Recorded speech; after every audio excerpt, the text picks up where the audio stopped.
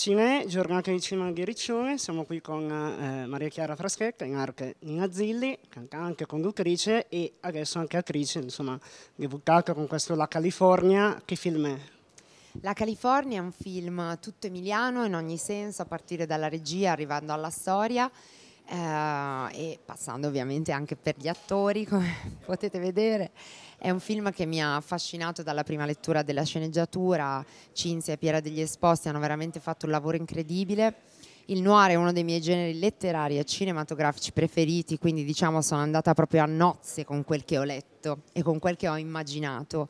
E anche perché, insomma, da bambina emiliana cresciuta a Gossolengo, piccolo paesino di 800 persone in Emilia, eh, mi sono rivista, mi sono rivista ovviamente eh, corsi e ricorsi storici, quindi cambia il contesto, però di fatto eh, quello che la noia della provincia, il piattume, le poche possibilità ti fanno sognare, anelare, eh, sono grandi cose di solito. Quindi mi sono ritrovata in questi personaggi ehm, che hanno grandi sogni, proprio dettati dalla ristrettezza di questa realtà, no? che quasi che, che, ti fa venire voglia di scappare, di andartene.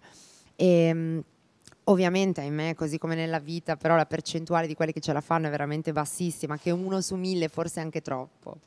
E, e, quindi c'è tutta quell'amarezza, quella verità però della vita, no? eh, sicuramente non è una storia ehm, che cerca il lieto fine, ecco, non è una storia dai canoni classici, anzi ti lascia veramente sospeso fino alla fine per sapere come andrà a finire.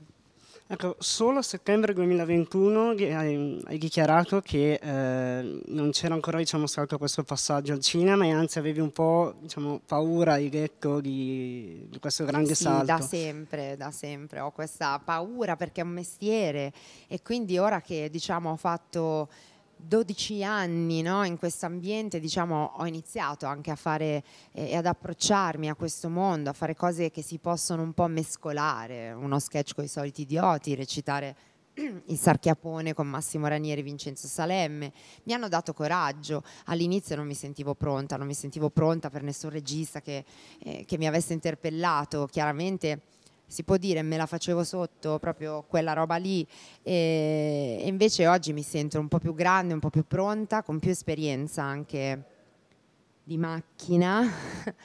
E perché il mio lavoro ovviamente è fatto anche di questo.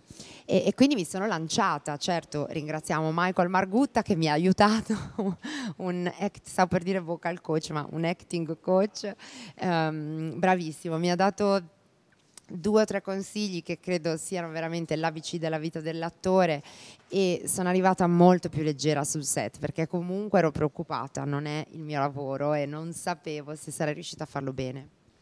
Invece parlando del tuo rapporto con il cinema, adesso sono passati 12 anni da Mine Varianti, eh, incuriosiva sapere qual è il film di cui Nina Zilli avrebbe voluto fare la colonna sonora o comunque essere inclusa nella colonna sonora e viceversa qual è la canzone di Nina Zilli che pensi sarebbe stata molto bene in un film? Ok, allora posso risponderti con la stessa domanda proprio due per uno perché L'uomo che amava le donne è già un film, prima Le Chevalier che è il, um, uh, il romanzo ovviamente dal quale ha attinto Truffaut io quel giorno tornai a casa e ero arrabbiatissima, litigai con, uh, con il mio editore che voleva che cedessi tutti i diritti della mia canzone 50.000 a un altro cantante. Quindi gli dissi no, anzi, quella l'ho scritta io, ne scrivo un'altra, la classica dichiarazione da pugile.